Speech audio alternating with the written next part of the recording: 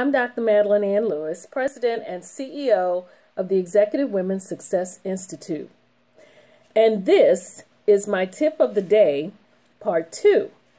Um, the reason why it's part two is because when I gave you my tip of the day uh, earlier this week, apparently the recording had cut off, and I didn't realize it until someone um, sent me a message and asked if there was a part two because their uh, the recording had cut off. So uh, I am just going to give you the rest of the information to the tip of the day that I had done earlier this week, and it was called potential. Actually, the word of the day was potential, and it was unleash your true potential and prosper.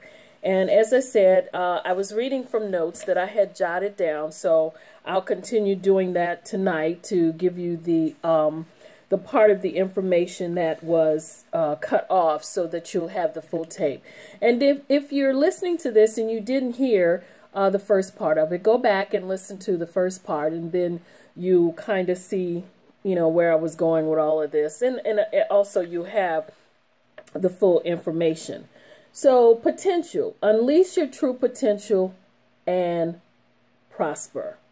And I, I started off by talking about a shift uh, that there, everybody has been talking about a shift in the world, a, a shift that's going on. Uh, uh, we should be shifting and different things like that. And um, we have seen a shift in the world. And so, and my thing is that um, the shift that's going into this new season this year is that you should be further than you were from last year. You know, you shouldn't still be in the same spot. In other words, you should be continuing to move forward, continuing to do different things, continuing to, um, you know, just again, reach your full potential. And so to start off where I left off, I'll uh, go back to the beginning of, I think, where I talked about author Jim Rohn. And I, I started by saying that um, you should surround yourself with people you admire. author Jim Rohn once said, You are the average of the five people you spend the most time with. Being in the company of people you respect and have a high regard for inspires you to reach for the heights they've achieved. When interacting with them, be candid in your conversation.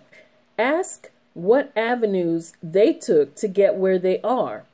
Ask their opinion on the best route you should take to accomplish what it is you desire to accomplish.